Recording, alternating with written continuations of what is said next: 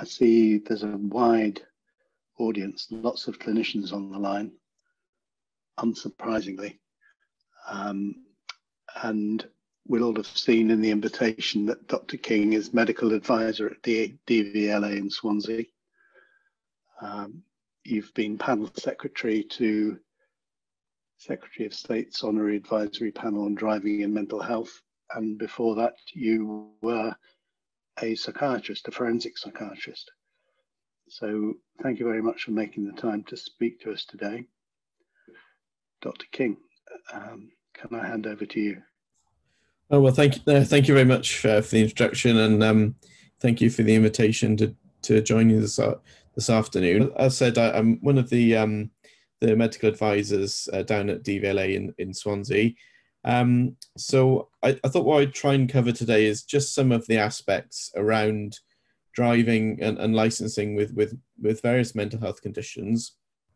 I thought what I do is just talk a little bit about the various sort of legal framework and, and licenses that um, that govern our decisions really, and then talk a little bit about the, the various standards that exist for the mental health conditions, and then also just a bit of information about where you can get some advice from us on if you if you need that, uh, and also just about notifications to DVLA as well.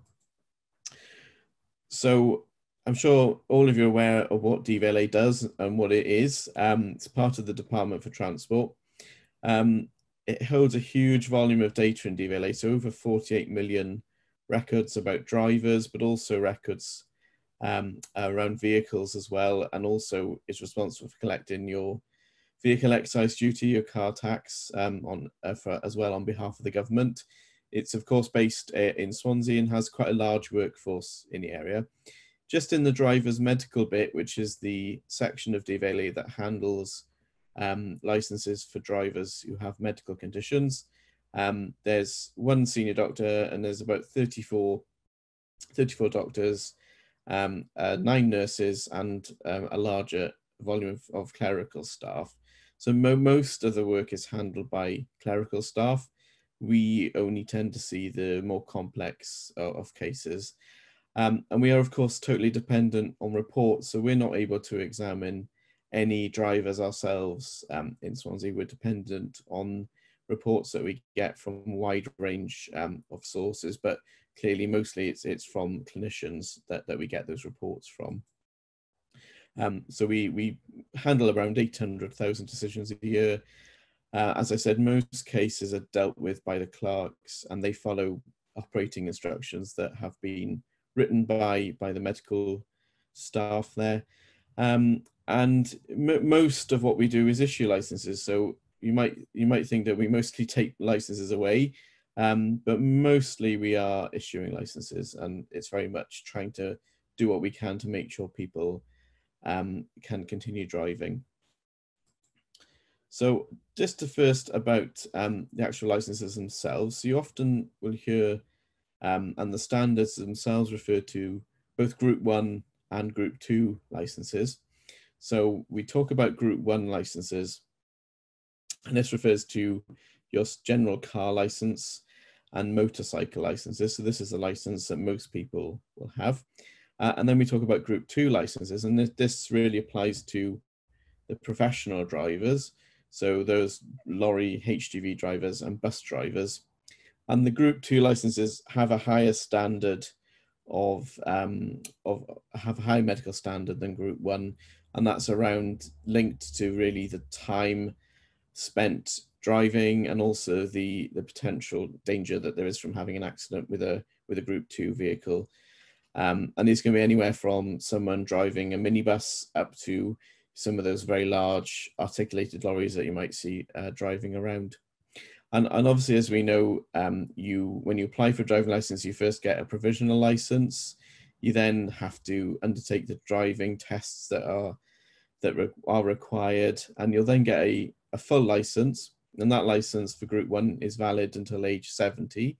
And at age 70, you have to renew your license then um, every three years. But there's no automatic review of medical conditions, so it's very much dependent on the driver declaring uh, conditions to DVLA um, rather than us actively investigating people.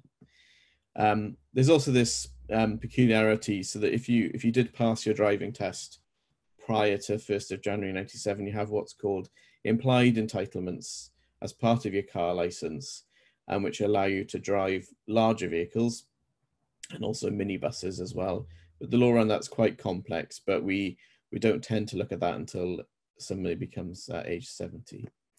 So when we look at the actual driving standards, um, there's a number of ways in which we we which we get the standards. So primarily, um, they are guided by legislation, and that's both UK legislation um, and EU legislation um, as well. So I'll talk a little bit more about that in a moment. And the second way in which driving standards are set are from the Secretary of State's um, Secretary of State for Transport's honorary medical advisory panels. And this is perhaps more relevant in, in the area of mental health, where there are less standards written in legislation and more guidance from the panel, really. So there are six panels that exist. Um, they cover cardiology, neurology, uh, mental health, alcohol and drugs, uh, diabetes, and vision. And each panel has a number of um, uh, experts in the field and also has lay member representation as well. The panels tend to meet twice a year and what they will do is review uh, review the medical standards uh, each time they meet and look at any emerging evidence or statistics um, and review the standards and set them as needed. We also often refer cases up to the panel. So if they're quite difficult cases or cases where there's not really a particular standard to apply to that case, we often will seek the advice from the panel to get some direction on where we think, um, what we think we might need to apply in, in that case. And DVLA quite regularly advertises for people to join the panels as well. So there was a re recent recruitment round um, uh, for that as well. So the legal framework, the, the legislation primarily gives DVLA responsibility to make sure that license holders are of course safe to drive. Um, so the work is guided by the primary UK legislation, which is the Road Traffic Act, uh, and then the three EU directives. And those directives have been brought into UK legislation through these various regulations and amendments um, that have, have taken place. And the reason for that is that allows then people who hold a UK license to be able to drive uh, within the EU. But I won't get into um, the situation post uh, Brexit on that one at the moment. Um, so the Road Traffic Act requires drivers or applicants for a license to notify or tell a DVLA about the condition that, the, that may affect driving. So, so in the UK, the emphasis very much is on drivers being required to notify us that they have a medical condition. And that then gives DVLA the right to investigate uh, that license holder. We can ask people to attend an examination and also gives us the right then to refuse or revoke a license depending on, on that condition.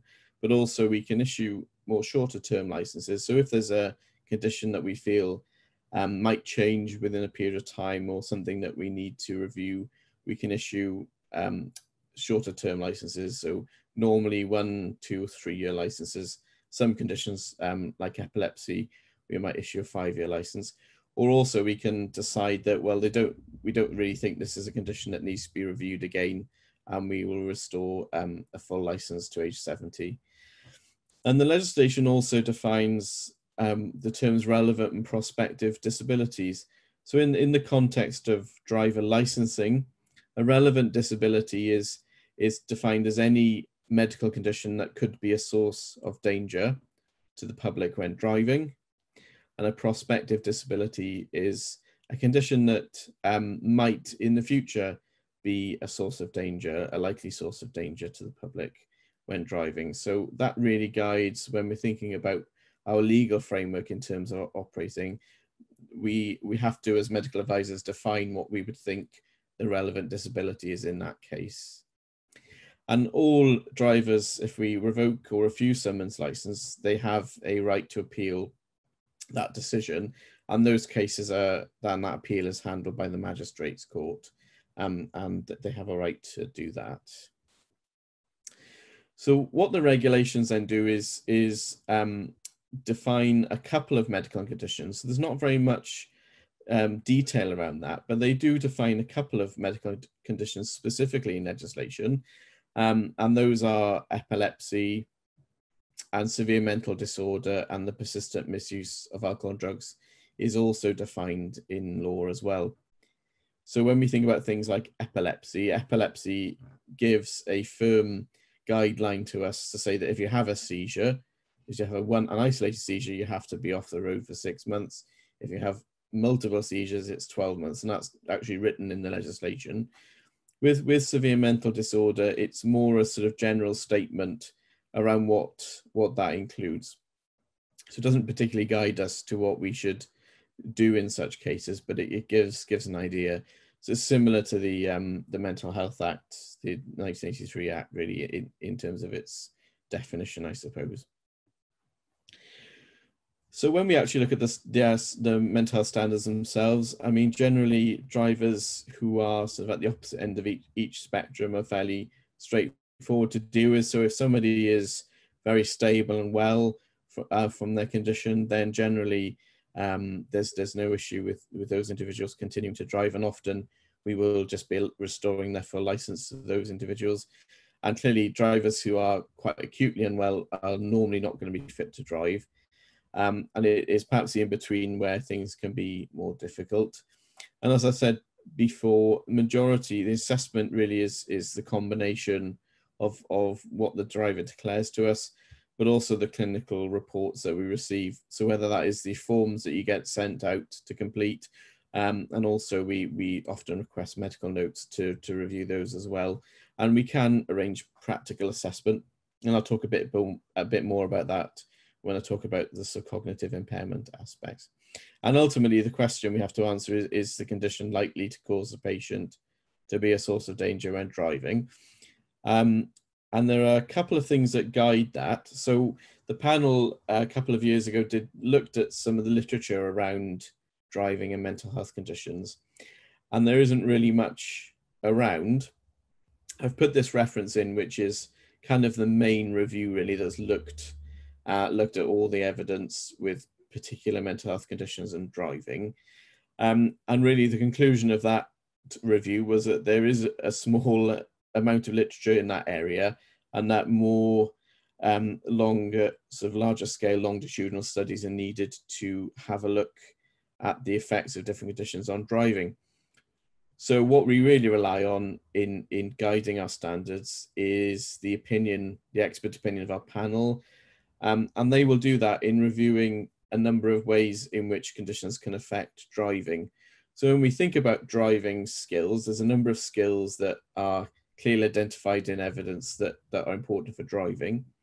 So when we think about mental health conditions and, and cognition, um, aside from being able to physically be, being able to drive a car, there's a number of things that sort of spring to mind. So things like attention, concentration, memory and planning, insight um, is, is quite important and judgment and adaptability.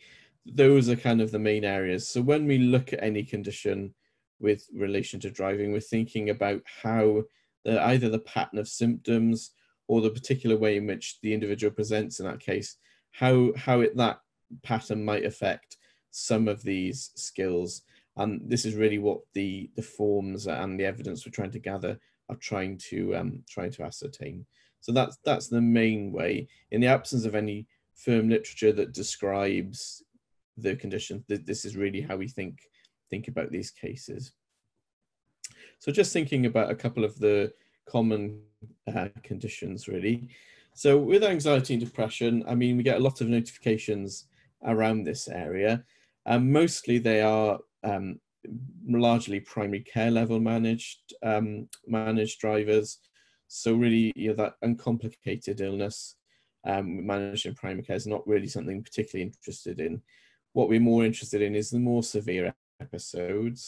So where there are significant um, biological symptoms um, affecting cognition and active suicidal ideation, but particularly where there might have been a car involved or, or, or something like that, and people who've required secondary care.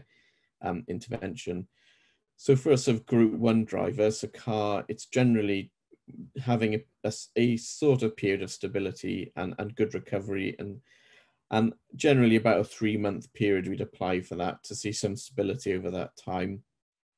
Cases of individuals who've had ect then again it, really depends on the the effects.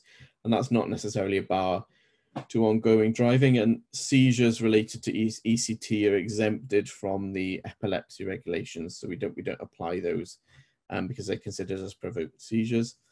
With group two drivers, it's more around a bit of a longer period of stability to make sure that that recovery is sustained.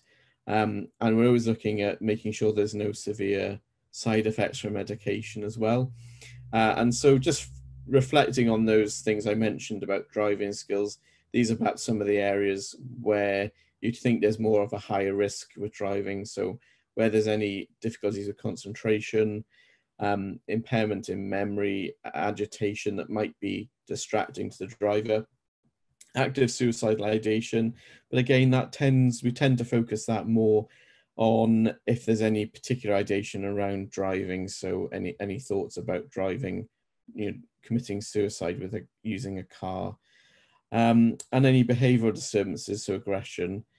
Um, and always thinking about any side effects, so any um, sort of uh, drowsiness, those kind of symptoms really that might impact um, on the driving.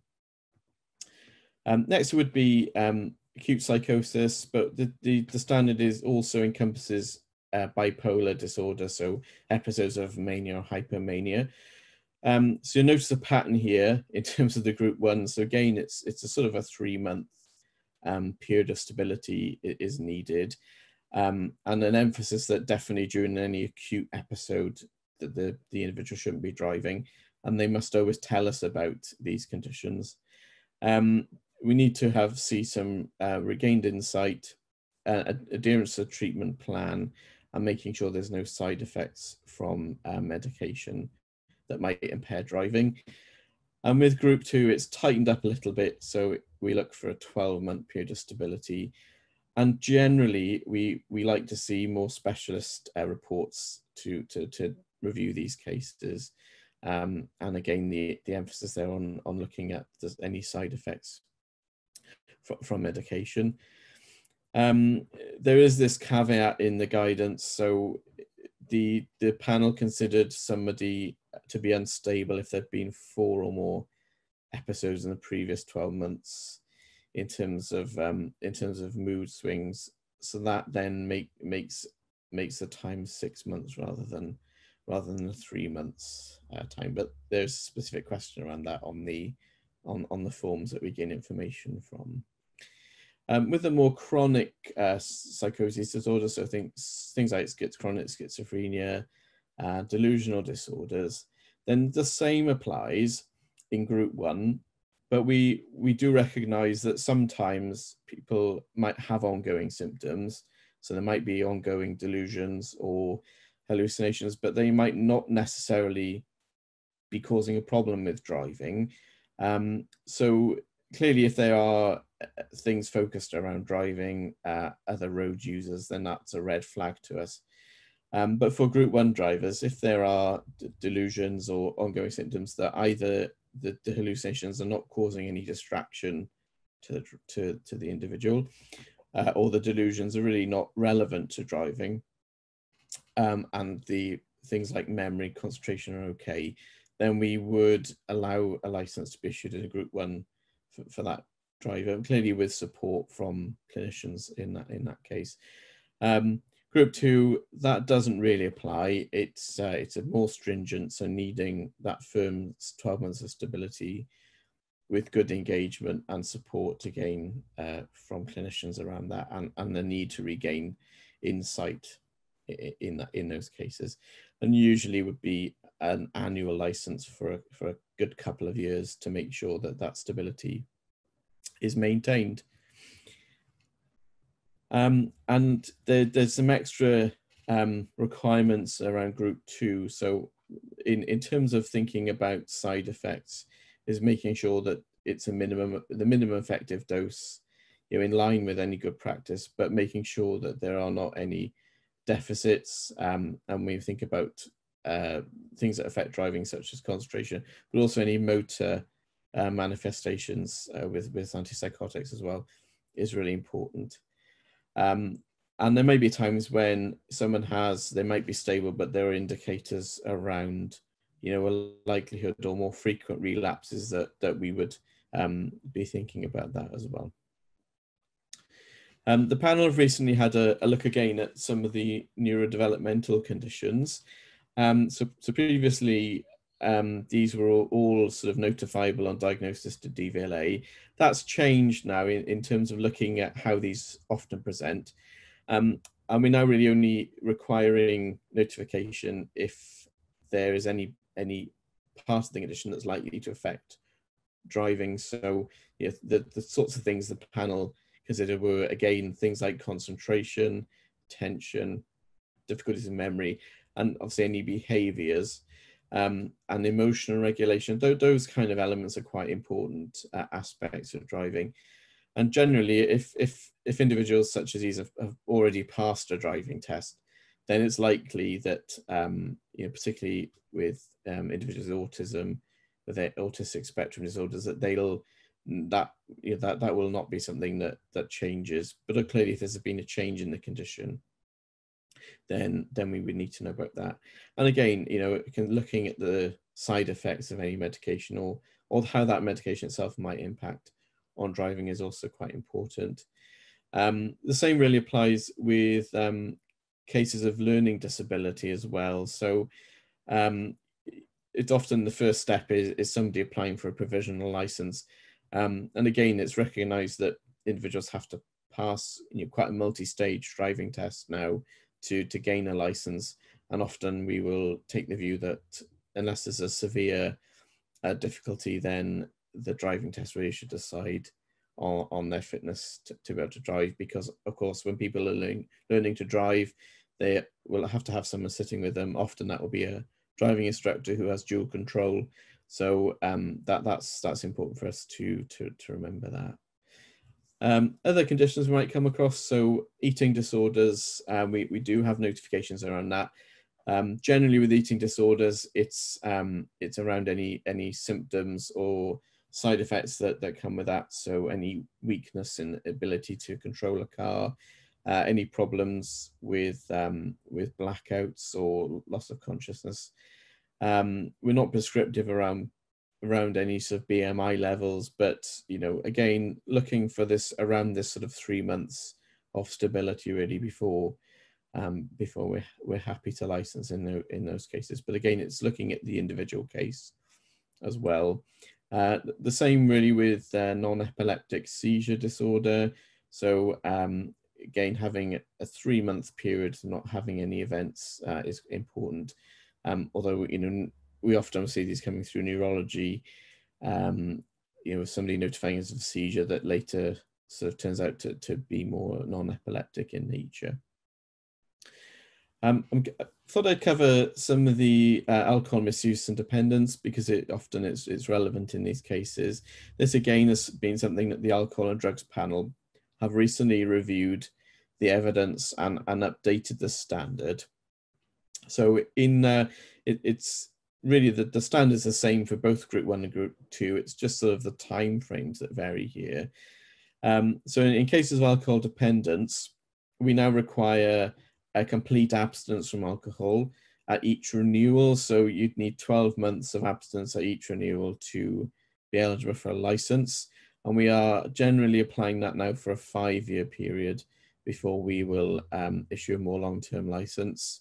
Um, we use the uh, carbohydrate deficient transferrin test, a DVLA, to, um, to, to look for compliance and, and the blood parameters around that. Um, and that that abstinence is, is an absolute, so um, there has to be no alcohol intake. I mean, maybe we would accept so sort of you know one or two units on a special occasion once a year but other than that uh, it has to be absolute abstinence from alcohol with mis with alcohol misuse, uh, it's a, smaller period of time, for six months. Um, and what the panel said with that, they they are happy with somebody controlling their drinking within the government guidelines. So it's 14 units a week at the moment. Um, and with group two, it's the same standard, but it's just longer. So three years for the dependents and then 12 months for the misuse side. Um, drug misuse and dependence, it, it just depends on the type of drug that's being used. So these vary from six months to 12 months um, of control. Um, so, and we obviously getting a lot more notifications around novel psychoactive substances. These can be difficult to um, to categorize. So it, it, you know, again, it depends on the, the effects that they produce. Um, and we would normally undertake urine testing uh, in these cases. Um, and uh, that, that's, that's commissioned by DVLA. Uh, and group two is, again, it's just a longer period of time. So we've got 12 months and three years rather than the six and 12 months. Um, and there are specific standards in place for drivers who are methadone or, or Subutex treatment as part of a treatment program um, that that needs to be applied with. And these are these are written in the um, the medical standards. So we we look for this uh, e each time that individual applies for their license. Um, something that uh, you know that that often causes particular problems is cases around cognitive impairment and dementia. So we we found and studies find that driving is very learned habits. There's a lot of um, residual learning around driving. So the when when you look at uh, where we've done sort of studies looking at scoring on psychometric testing um, and driving performance, there's often a really poor correlation. So somebody who has a very low score on testing doesn't necessarily uh, do very badly at driving. They might still have quite good function uh, in terms of their driving ability. And, and the same is obviously true. So somebody who has only a small, you know, smaller impairment can also then have a bad, a bad score in their driving. Um, sometimes it can be difficult to, you know, pick apart whether that's due to just poor driving practice or whether there is, um, whether it's being caused by the cognitive impairment. We very much rely on our, um, on the assessment teams to try and pick that out when, when they do the reports. Um, and even the practical assessment itself, there haven't really been any studies validating how how those how results in those practical assessments of driving actually translate into um, in terms of accident statistics and looking at how well they predict people's driving behavior. But but it's really the only tool um, that we have um, at the moment. So in, in terms of uh, someone with just mild cognitive impairment, um, they can, you know, if there's no if there's no significant impairment in function, they will generally um, be okay to have a longer term license. Um, individuals with dementia will only ever get a group a one year license a group one, and at the moment it's a complete bar to having holding a group two license. So when somebody notifies us of the diagnosis, they will automatically lose their group two entitlement. Um, some of the high risk factors that, that, that have been identified are, are, are, individuals where there's really significant memory impairment. So whether that's sufficient enough to cause he hesitancy in terms of perhaps remembering where you're, where you're driving to or um, what purpose, and you often will see that in, in driving assessments. Um, and maybe a more obvious sign of the sort of overall decline. And we are increasingly having individuals notified to us by the police. So the police will will send notifications to DVLA if they've been involved in in some sort of incident and they have concerns around a, a person's driving. And we might see a notifications that you know look like somebody reporting to police that they've lost their car in a car park, they can't find their car, or they're not sure where they've parked it, or they can't remember where they are. Um, we do get an increasingly number of those notifications, and then often not individuals who've had any uh, contact with, with services or any assessment in the past. Um, lack of insight is quite important um, because that, that can um, be dangerous in terms of not being able to appreciate dangers on the road or, or appreciate impaired performance. Um, and obviously any personality changes around uh, risk taking and impulsive behavior. Um, but again, the sort of questions that are relevant for us are really is there any sufficient memory impairment um, that disrupt the activities? Uh, is any loss of judgment um, and any inappropriate behavior? Um, and so for us, often um, they, in assessing these individuals, the the how, how the, the, information that's presented to us in terms of um, the pattern of impairment that they have will, will, guide us in that answer. And we we often will commission um, a driving assessment to have a look and see how they how they perform on the road. Um, and we can commission that. Obviously, clinicians can also request driving assessments, and often we, we get that uh, sent through to us, which is which is can be really helpful um, in in being able to evaluate the, those individuals. Um, something else that we we get asked about quite frequently is compulsory admissions under the Mental Health Act. Um, so the general principle is that that we, we the standards should be achieved outside of a hospital setting. Um, but you know, in general principles, if an individual is is subject, you know, particularly in the acute phase, then they're probably not going to meet um, meet the standards by nature of the medical condition that they are under the, the section for. Um, but really with patients who are on longer term sections who've probably been stable for some time would probably meet the medical standards, then it's really having an individual discussion and assessment of those individuals. Um, and they can be licensed, you know, even even with ongoing um, if it's subject to the Mental Health Act in longer term, if that's part of the sort of the treatment plan and recovery plan. Um, and it, it's always eh, worth having a discussion about about those kind of patients. Um, I thought I'd just cover notifications to DVLA. Um, so as I mentioned, obviously the, the drivers themselves have that have the obligation in law to inform DVLA of any relevant um, changes in their health or any conditions um, that affect driving.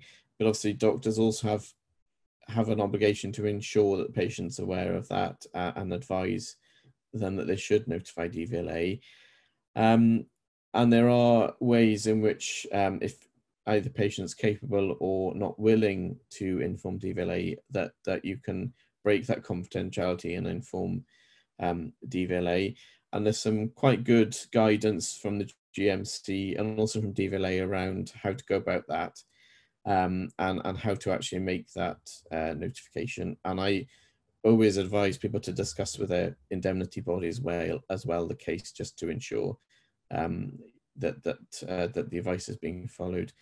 Um, but you know we we we do act on notifications that are made to us uh, to investigate. So sometimes um, some of those notifications will be with with consent. So uh, a patient may ask may ask you to notify us on their behalf, which is also perfectly fine.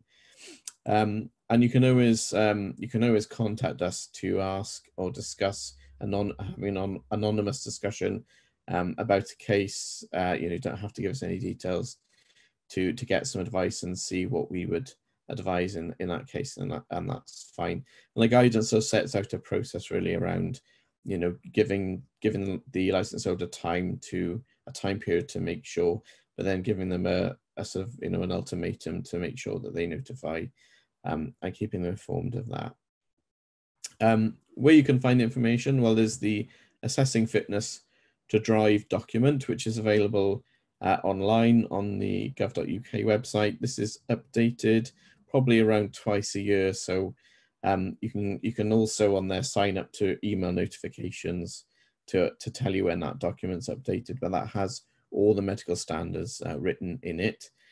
Um, we also have um, a telephone and email line. So at the moment, with the um, pandemic, the telephone line isn't operating, um, but the email is. So if um, if you need to get in touch with us, you can send in an email and you'll get a response, usually the same day, uh, to that email.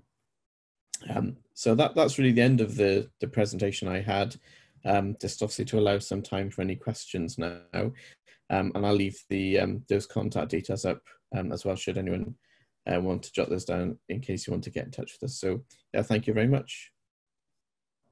Okay, thank you very much, Dr. King. That was really interesting.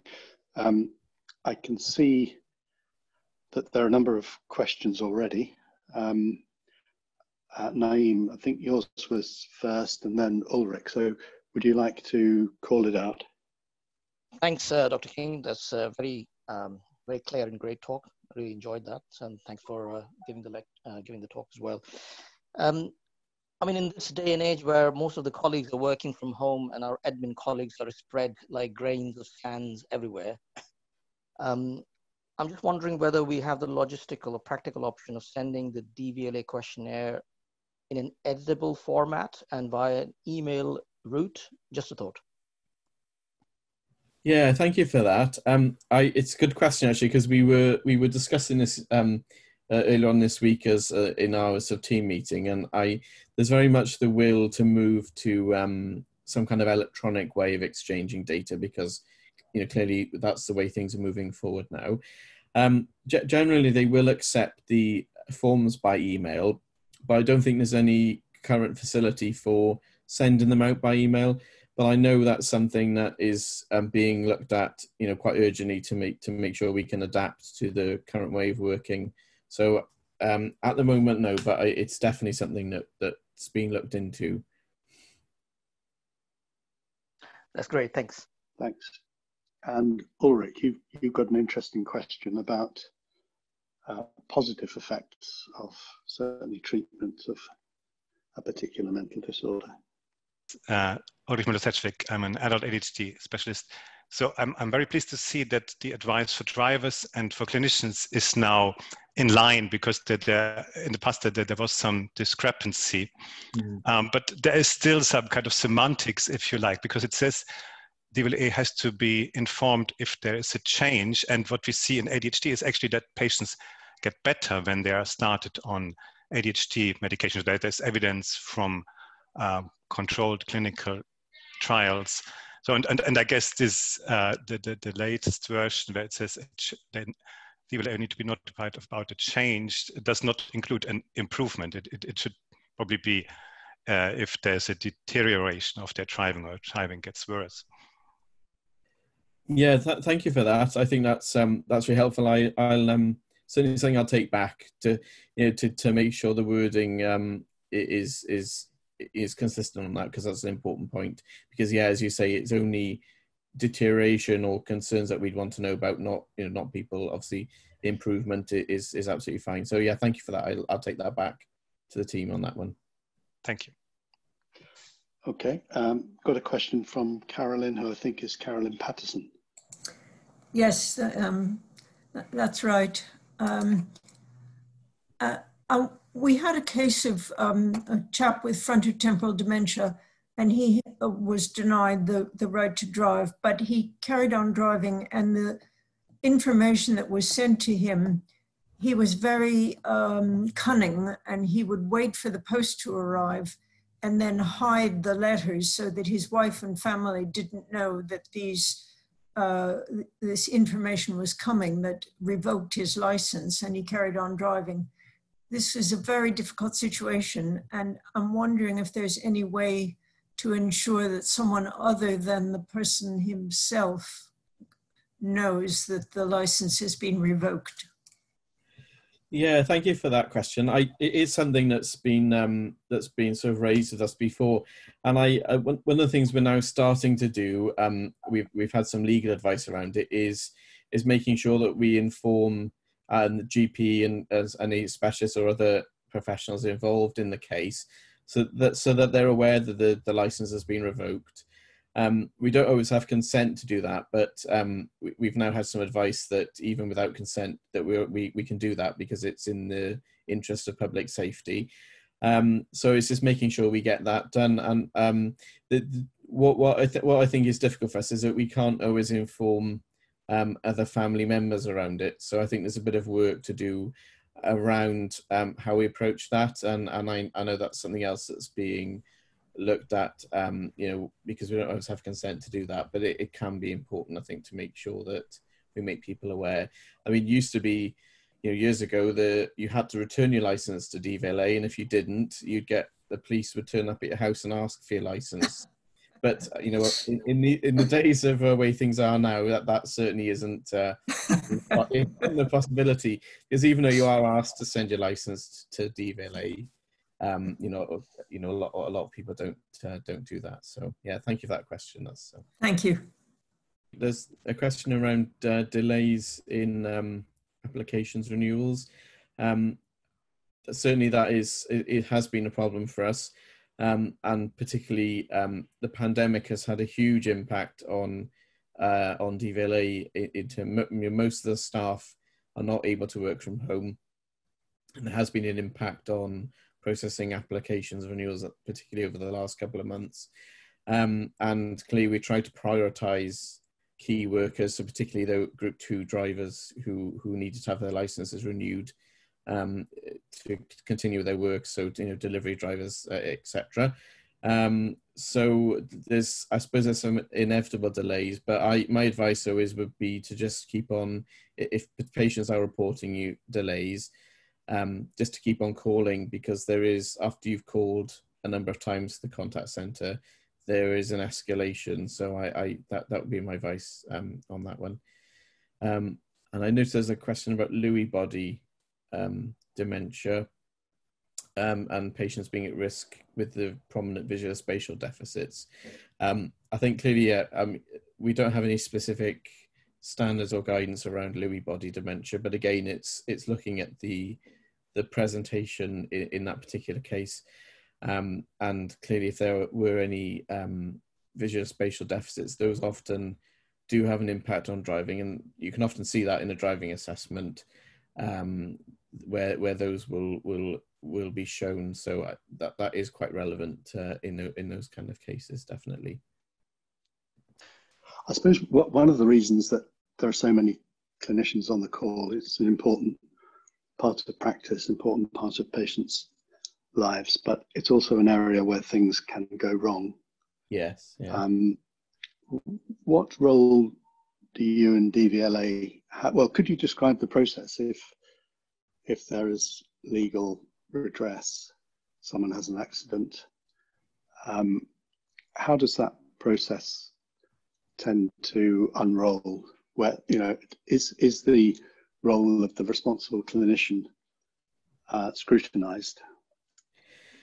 Um, yeah, I, I I suppose the most prominent um, example that would have been the the Glasgow the the bin lorry um, mm-hmm. Accident in Glasgow, which obviously there was there was a um, a public inquiry around that particular incident, and um, in that respect, DVLA, our, our senior doctor, went to the uh, to that case to give evidence in terms of what DVLA's relationship had been with um, in, in terms of that case. So I we, we do often get requests. So where there's where there's been a, some sort of incident, um, the the police will often take two approaches. So they'll either um, send us a notification related to that driver to say, well, this this incident has happened, uh, and they've got this medical condition which they haven't declared to DVLA, um, and, and we'll investigate that. Or, so, or sometimes, if it's a serious incident, they'll approach the police will approach DVLA to ask if the driver has um, uh, notified us of, of their condition. Um, I'm I'm not really aware of of how much they would look into into the actual responsible clinician in respect to that because they're always very much emphasized around the driver being responsible to notify. Um, and uh, there's obviously GMC guidance around that. But um, I, th- I, think part of the importance of doing sessions like this is, if for us, is to make is to you know increasingly make clinicians aware of of what the guidelines are and you know how, how to deal with certain situations. I think you know a lot of uh, you know a lot of clinicians are perhaps not fully aware of the guidance. I certainly know from my own practice that you know there were certain areas that I wasn't 100% sure on. And so I think it's it's important to try and get that information um, out there, and probably from an earlier stage, you know, from from medical students, because I don't think there's really a lot of input in that respect as well.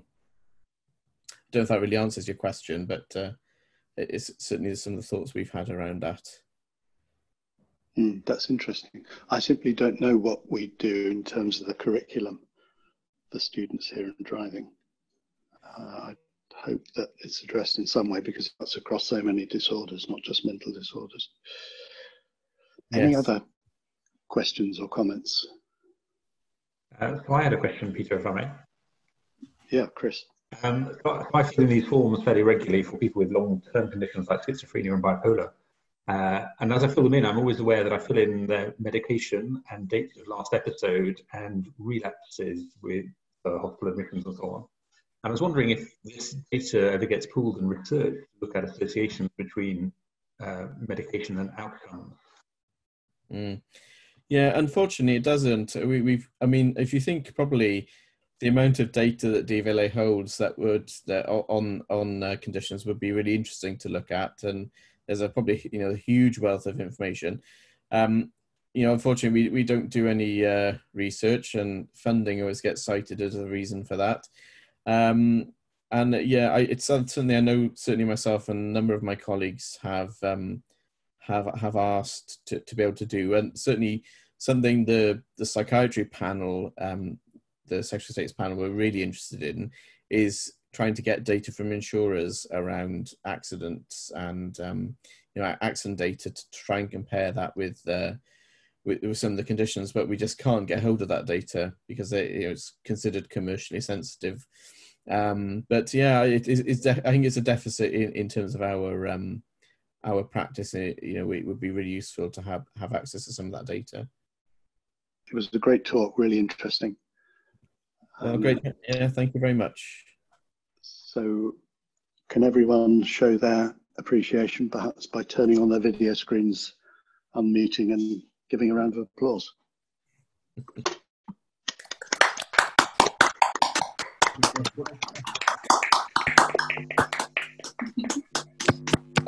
Well, thank you very much. That's very very kind. It's a pleasure to be able to um, talk to you this afternoon. Great. You were the last talk in our season. So, uh, I'll see the rest of you back in the autumn. Thanks.